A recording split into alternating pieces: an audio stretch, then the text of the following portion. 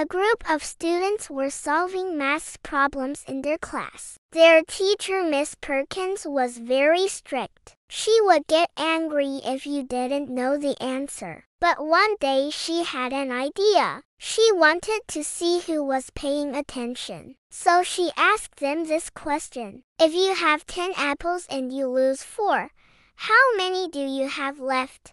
All the students got their answer right except for one. The student got it wrong. Miss Perkins was very angry. Do you know what the answer is? Do you even know how to count? The student started crying. I'm sorry, I don't know. Then Miss Perkins gave him an opportunity to make things right. She said, Since you don't know the answer, I want you to go to the store and bring me some apples. You can go with Tom. Tom was the smartest kid in the class. He knew all the answers, so Miss Perkins sent him with the boy to the store. On the way to the store, the boy said to Tom, Please help me. I don't want to be in trouble again. Tom replied, Okay, but only if you share your cookies with me. You always have the best snacks.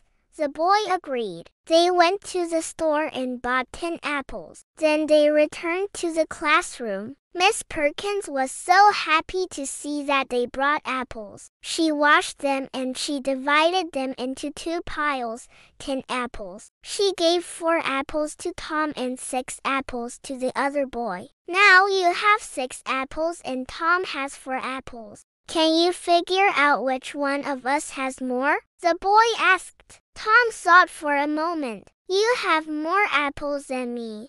But you also had more apples than me when we left the classroom. The boy was confused. What do you mean? Tom explained.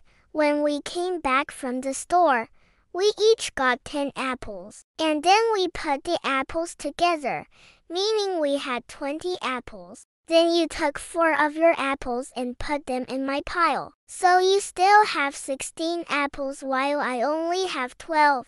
The boy couldn't believe it. So does this mean you actually have less apples than me? Yep.